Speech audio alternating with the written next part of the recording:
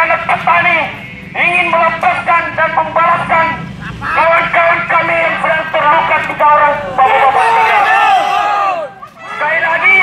media perlu mencatat bahwa bertangga karena hal ini Bapak Kapolres Waspita mengatakan bahwa adanya kemacetan adanya pemukulan karena terjadi kemacetan di jalan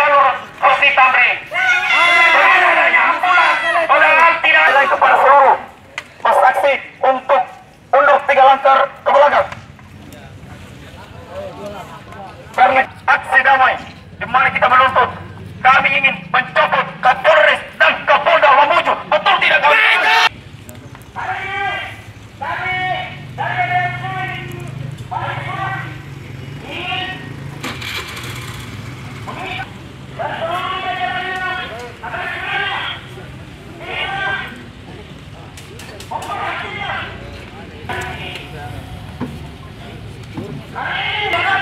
Mana korlap? Hukum